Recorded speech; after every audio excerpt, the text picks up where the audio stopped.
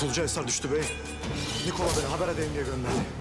Türklere Aslam friends क्या हाल है रानी की दुनिया में खुश आमदीद जी तो फ्रेंड्स आज बात करेंगे कुरलुश उस्मान की एपिसोड 33 के ट्रेलर के बारे में। लेकिन इससे पहले आपसे गुजारिश है कि रानी के चैनल को सब्सक्राइब कर दें।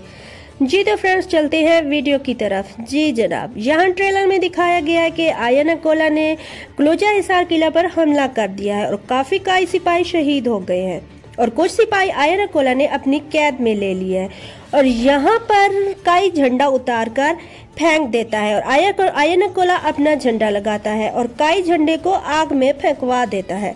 जी तो फ्रेंड्स, यहाँ पर उस्मान बे, सौजी, बामसी बे, योलक सब मौजूद हैं। और कोई सिपाही इनको आके इतला देता है। हजूर कलोजा हिसार हमारे हाथ से निकल गया है। और मुझे आयन अकोला ने ये इतला देने के लिए भेजा है कि तुर्कों को बता दो मैंने क्या कर दिया है और जिस पर उस्मान बे शदीद गुस्से में आ जाते हैं और कहते हैं, मैं इनके कलेजे चीर दूँगा और गुस्से में बेकाबू हो जाते हैं, जिस पर सौची बे कहते हैं कि किसी कले पर हमला करना कबीले पर हमले के मुतरद नहीं है। सिपा सलार, मैं हूँ तो सुबह की पहली किरण पड़ते ही मैं किले के दरवाजे पर खड़ा होऊँगा और वो उस्मान बे को वहाँ जाने से रोकते हैं। जी तो फ्रेंड्स, यहाँ पर हमने देखा है कि उस्मान बे आयन कोला के पास आते हैं और उनके पास कुछ सोने के सिक्के, खजाना टाइप ऐसी कुछ चीज़ें लेकर आते हैं। जिसको आयन गोला देख के कहते हैं कि क्या तुम अपने खेमे बचाने के लिए आई हो, लेकिन उस्मान बे कहते हैं, नहीं, मैं अपने कैदियों को वापस ले जाने के लिए आया हूँ।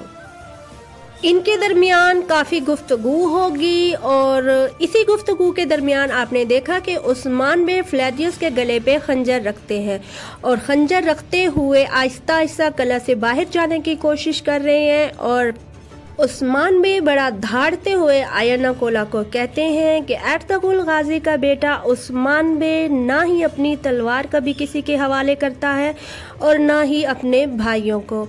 और ये कहते हुए वो कले से बाहर जा रहा है। तो फ्रेंड्स, आप मुझे कमेंट्स में बताइएगा कि उस्मान बे फ्लैडियस को कले से बाहर ले जाने में कामयाब हो जाएँगे। मेरे ख्याल में कि वो कामयाब हो जाएँगे और इसके बदले अपने कैदी वापस लेंगे और कले को वापस लेने की पूरी कोशिश करेंगे। जी तो फ्रेंड्स, ये तो अब आने वाली एपिसोड में ही पता लगेगा कि क्या होने वाला है। अगर आपको मेरी वीडियो अच्छी लगी हो तो मुझे कमेंट्स में बताएँ और इसको लाइक और शेयर करें। मिलते हैं नेक्स्ट वीडियो में न्यू अपडेट के साथ। अल्लाह हाफिज़।